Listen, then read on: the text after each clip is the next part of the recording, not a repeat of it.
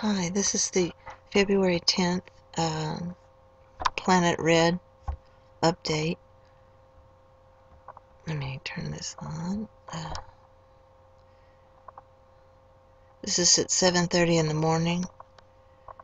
And as it progresses through the day, and it goes out of sight at 11.30. And that one out of the way.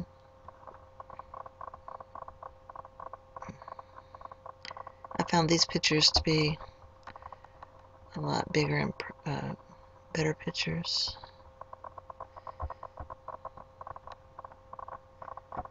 This is 7 in the morning, 7.30, 8,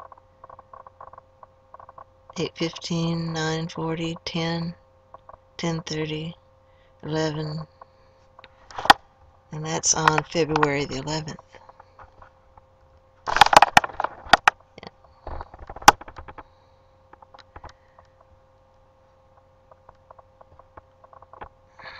And these are some pictures that I got from that uh, little girl's balloon project. So this is a sundog by the sun. You can see the sun here in the background over here.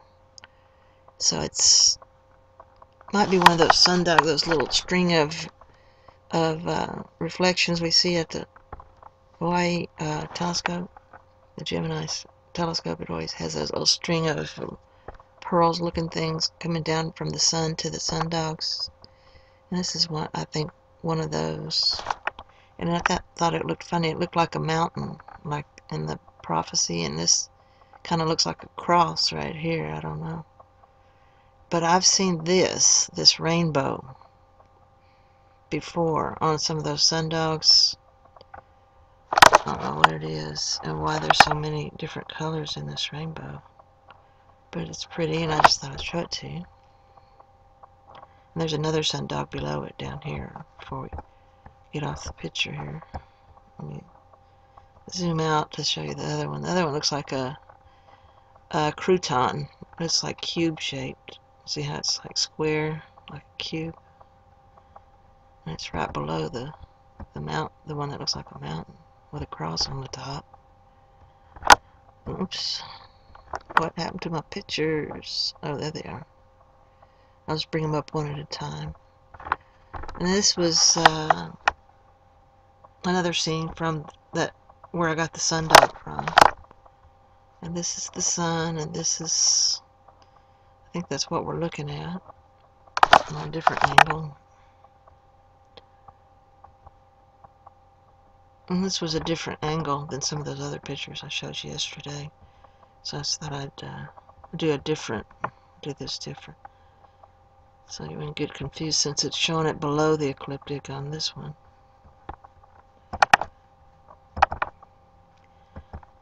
Here's the sun dogs.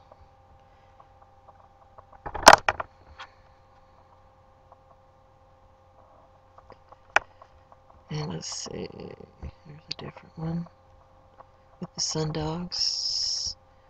Here's that, and this is what's really back here is what behind the sun. And there's something else. I'm not quite sure what all that is. there's another one of the same type thing here.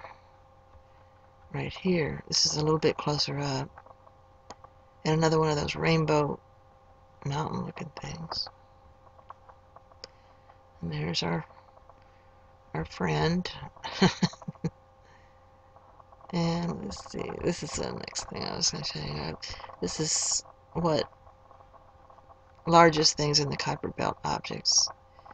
Eris, Pluto, Makemake, Quaoar, Sedna, and Haumea, which is egg-shaped, it looks like. And that's it for the day.